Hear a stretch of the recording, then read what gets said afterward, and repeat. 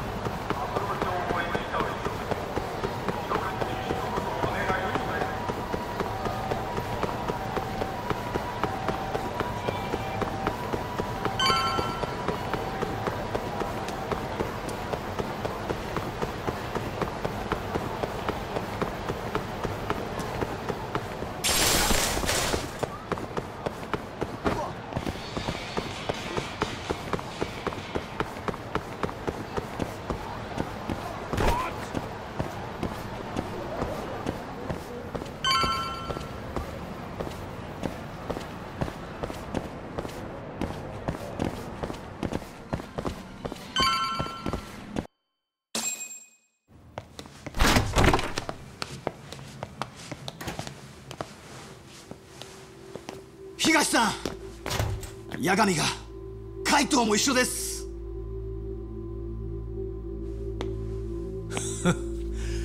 どういうつもりですか？海藤さん。抜き打ちに押しかけてきたのはそっちが先だろ。何の用だっつってんだよ。東お前赤花を殺したか？あ？1年前松金組に押し入った拳銃強盗だよ。そいつから1億回収したのはお前だったよな。でもちょうどその頃赤花の死体を見たって人間がいる。撃ち殺されて下水に沈んでた。東さん。黙れよ。人聞きの悪い。本当にお前が赤花を殺したのか？どうなんだ？東！あん時俺は兄貴を助けたかったんですよ。金さえ取り返せば波紋も取り消せるって。そのためなら何だってやる覚悟でした。なのに今は海藤の兄貴に銃向けんのか？うるせえ！俺とターボを殺す覚悟ができたってことか。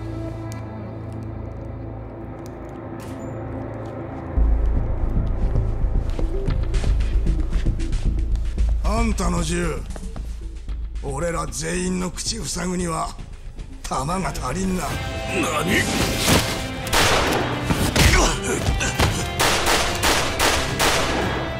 てめえ赤身何やってんだ!行けよお前ら!じいさんたち外出てろ!ぶっ殺すよやっと俺の出番だな!ターボああ。給料分は頼むよ。おっしゃ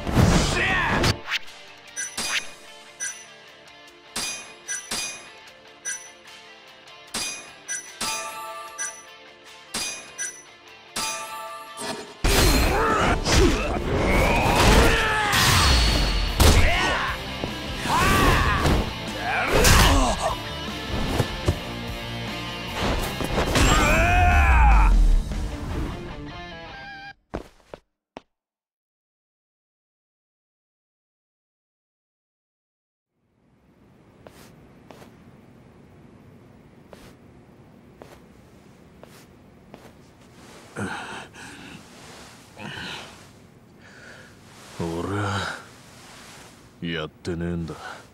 ん赤花を殺したのは俺じゃねじゃあ誰がやった？赤花が松金組の金を奪った時組の中に誰か手引きした内通者がいたはずだ。そいつは赤花にいろんな情報を与えてた。事務所が手薄な時間帯金庫のある場所はもちろんその中に確実に金がある日時。でなきゃヤクザの金を奪うなんてまず不可能だ。その内通者が赤花を殺したんじゃないのか。真相の口封じをするために。えそうかもな。誰なんだそいつは。そこまでしてなんで組の金を？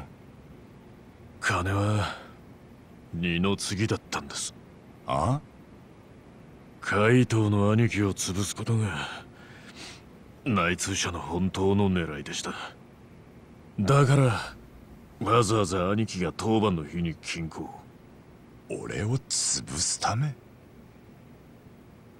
じゃあまさかその内通者ってのは羽村の頭か？頭にとって兄貴は組の中でただ一人の脅威だった。兄貴さえいなくなりゃ松金組を完全に掌握できる。あの人はそう踏んだ。確かにな。実際今そうなってる。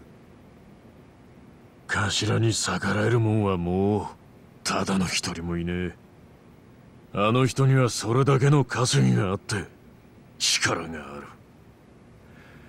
頭あっての松金組だ。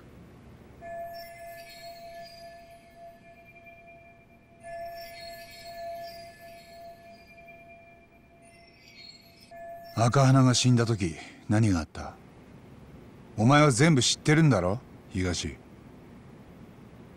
1億が奪われて兄貴が波紋になった次の日だ。俺は札から情報を買ってその夜にはもう赤花の名前と顔を手に入れてた。そいつで町中聞き込んで行き着いたのはカムロ町の下水道だった。ただそこにいたのは赤花だけじゃなかった。羽村の頭もそこに？ああ頭は赤花から9000万を回収して高飛びさせようとしてたんだ。つまり赤花の報酬は1000万。それで円満におさらばのはずだった。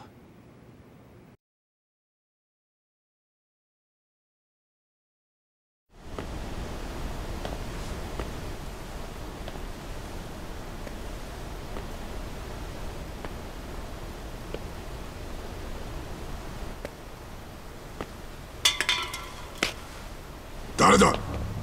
出てこい。羽村の頭？か頭ですか？俺です。東です。東？なんでてめえがここにいる？一人か？あのそこのホームレス赤花って言ってそいつが事務所の1億を。恨むならあのバカを恨めよ。な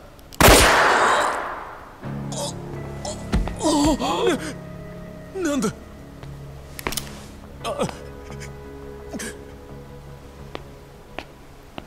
頭そいつはまずいんじゃ。お前なんで奴が犯人だと分かった？そそれは俺は全てありのまま話した。事務所が襲われた時俺もその場に居合わせてたこと。綾部から札の情報を買って赤花にたどり着いたこと。言葉が途切れたらそこで撃たれるってそう思って必死に喋りまくった。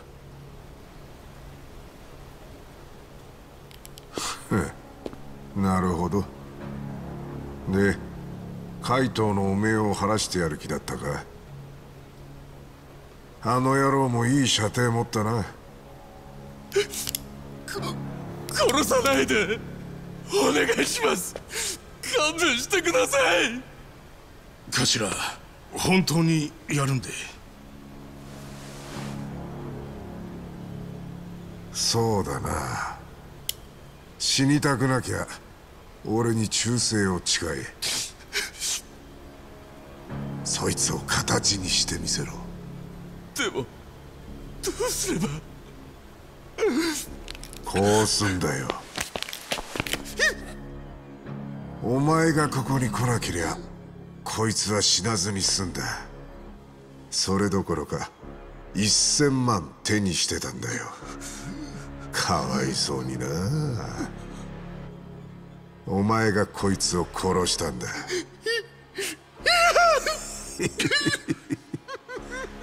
お前女みてえな声出すんだな。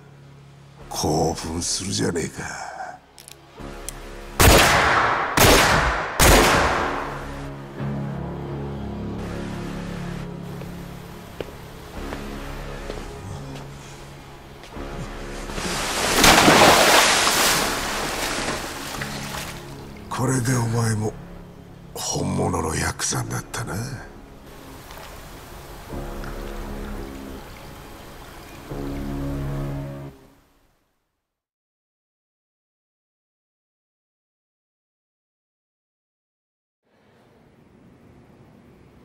それはお前がやったわけじゃない。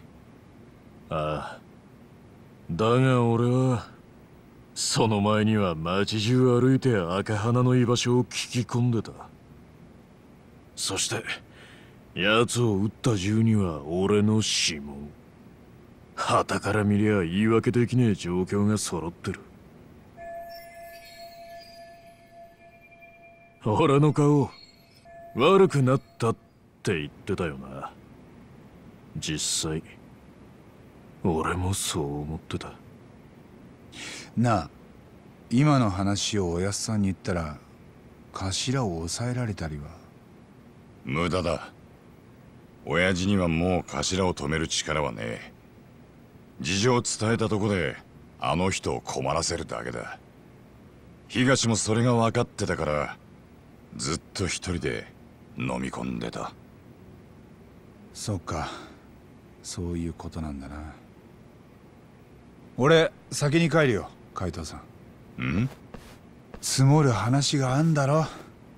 あんたらには邪魔しちゃ悪いもんな。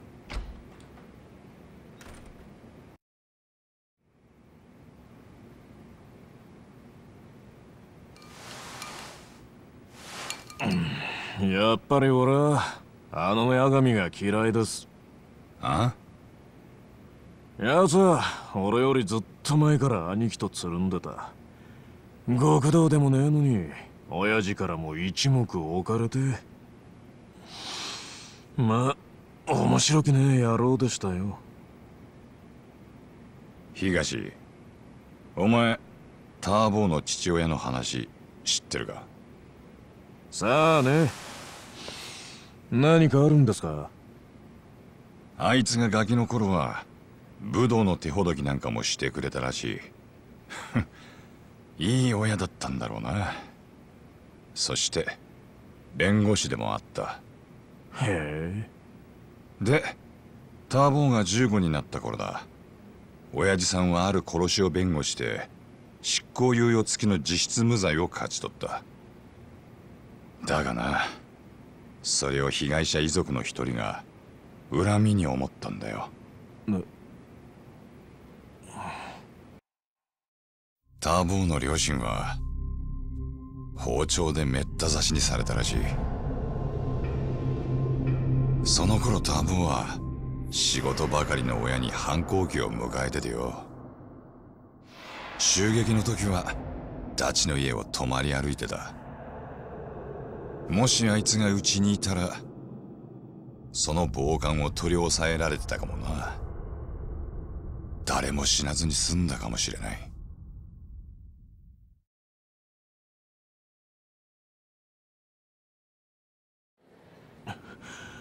八神の親殺した犯人はどうなったんです？現場の奥で首つってたってよ。一つも救いのねえ事件だった。いっぺんに親を亡くした後ターボンは親類の手も振り払ってカムロ町に出てきた。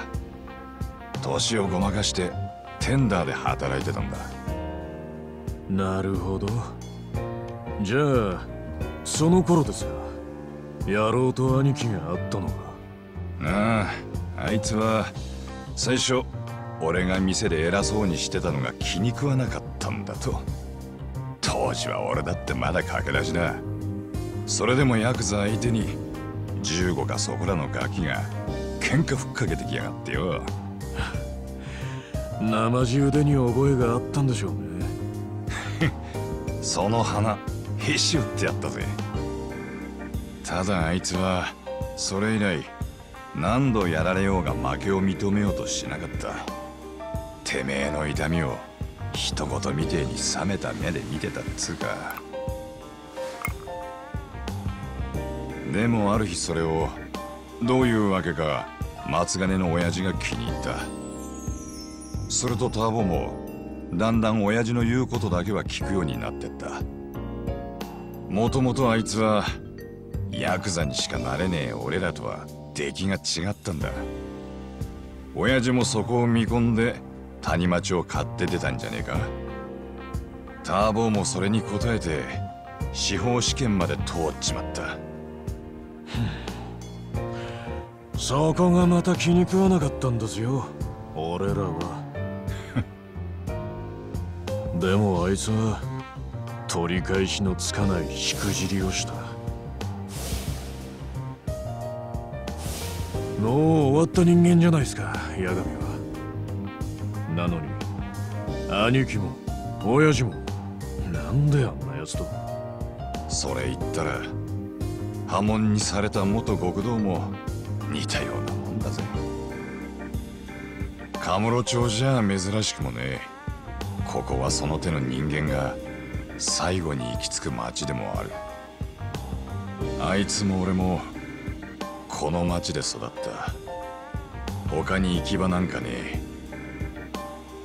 だから羽村の頭といくら勝ち合おうが俺らは俺らの流儀で行くだけだ。兄貴。今の俺には頭の命令が絶対です。でももし兄貴たちを殺せとでも言われたら精一杯あがいてみせます。その気持ちだけで十分だ。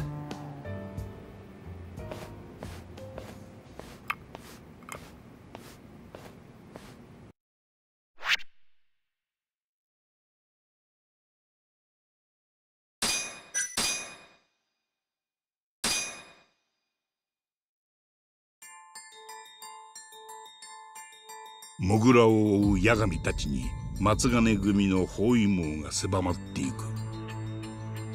1年前海東の波紋をきっかけに塗り替えられた松金組内部の勢力図。だが全ては仕組まれていた。裏社会の掟に翻弄されるカムロ町の男たち。いつかその流れに一矢報いようと彼らはあがき続ける。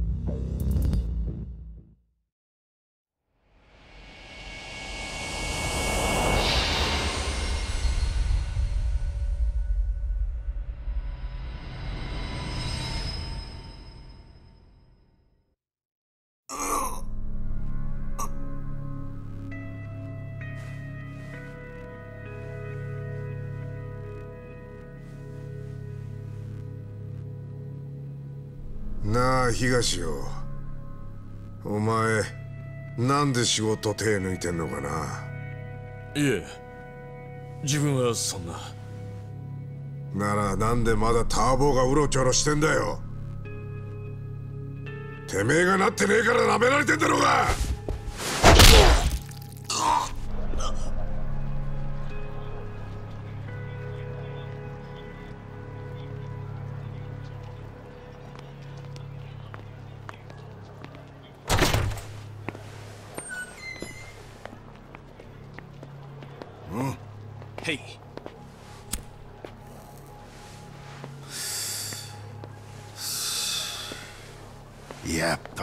頭がいるとよ事務所が窮屈でいけねえぜ。うん。ずっとうだうだ機嫌悪いし。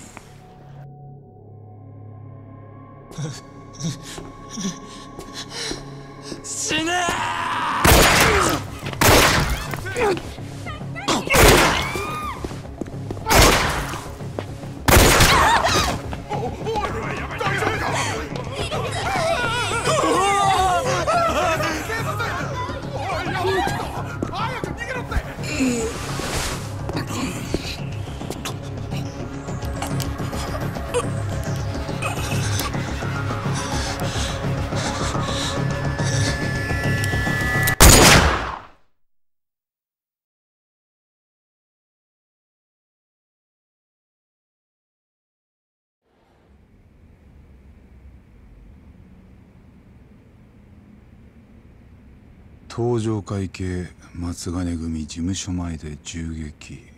一人死亡か。死んだのは栗本って組の古株だ。流れ弾で片木にも怪我人が出てる。栗本？いやお前は知らねえかもな。別に目立つやつじゃなかった。犯人は自称会社員。その場で現行犯逮捕。そいつは協励会の送り込んだ鉄砲玉だ。間違いないのか？ああ昨べ東から聞いたんでな。へえ。この間俺らに銃向けてたあいつが。そう言ってやるなよ。あいつの話じゃ犯人は栗本の体にまず弾を4発。でとどめに両目を撃ち抜いた。目を？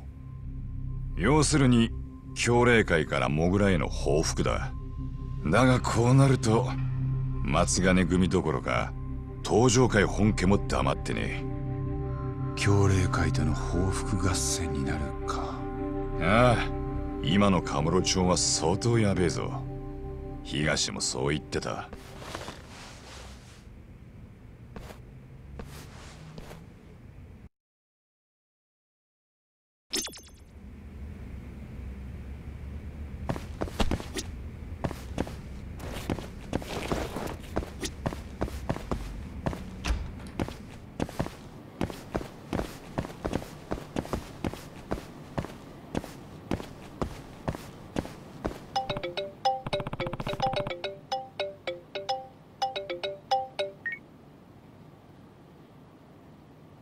もしもし。